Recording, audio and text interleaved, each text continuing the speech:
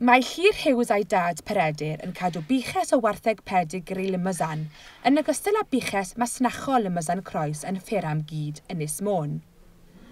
Mae Llyr eisoes wedi tynhau amser lloia a gwartheg pyr, ac eleni am y tro cyntaf mae wedi mynd i arbrofi gyda'r masnachol, gyda chyd amseru cynhedlu y gwartheg.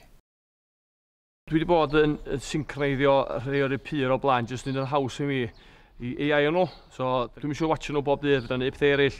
Wedyn Lenny, nath, nath ni brynu taro o werddon llynadd King Bull.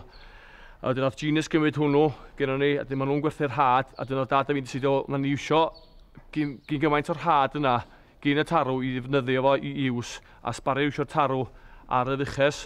Felly nath ni decidio efo Cysl Ffarmio i syncroneiddio 55 o'r buchod masnachol. Um, A allan o'r 55 rath 42 sefyll er, i'r seicl gynta, a dyn oedd yr prosiect wedi gweithio'n wych. Um, ond mae'n jyst yn bwysig cael y, ddiwch bod hi lan a bod y condition y ddiwch yn barod am, am ddarw. Beth yw barn tad llir peredur am y system? Mi dwi yn gefnogol unrhyw syniad newydd uh, gwbl dwi isio yna weld ar ddiwedd y dy, bod yna elw yn y pethau. Ond mae'n mi gyfara, mi oedd o'n adag reit bryderus, ddim pan o'n gwneud y, y prits a rhoid yr AI iddyn nhw, felly, ond pan o'n dwad y lleia.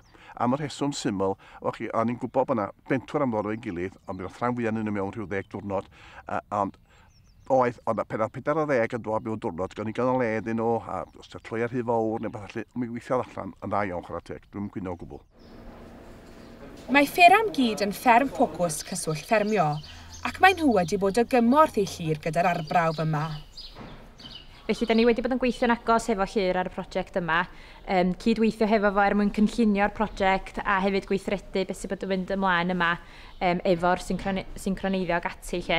A wedyn, be da ni'n bwriadu wneud wedyn ydy casglu'r data yma llir wedi ei gasglu i ni, a wedyn bod ni'n rhannu'r canlyniadau hefo ffermwyr eraill ar diwydiant yn gyfan gwbl, fel bod na fydd i pawb.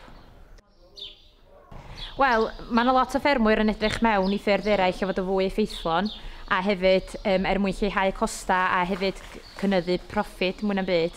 Wedyn mae'r ma math yma brosiect yn reid, wel, cipolwg a dweud y gwir i mewn i ffyrdd mae ffermwyr, fysa ffermwyr yn gallu gwneud pethau'n wahanol mewn ffordd. Mae canlyniadau'r arbrawf yma wedi bod yn galanogol. Elia, um, fel ti'n gweld, maen nhw, ma nhw weld wedi datblygu yn batch wastad iawn. Um, maen, maen nhw'n weld yn matcho i gilydd fel, fel yn isio nhw a gobeithio ebyn glan gia fel ni'n gallu gwerthu'r a fwyaf hein o ddari mhama i sbarau'r cost o, o e geafnu nhw. Um, a mae'r tarw i, i fi uh, wedi weld i clicio efo y bychod gora a'r plina. So mae, ma, ia, dwi'n blis iawn o'r lleia. Na, chdi, um, ganol, ganol mis mwth o, o hyn cael ei geni, so mae'n nhw'n dwad am dan, tua 2 fus oed ydy'r wyau.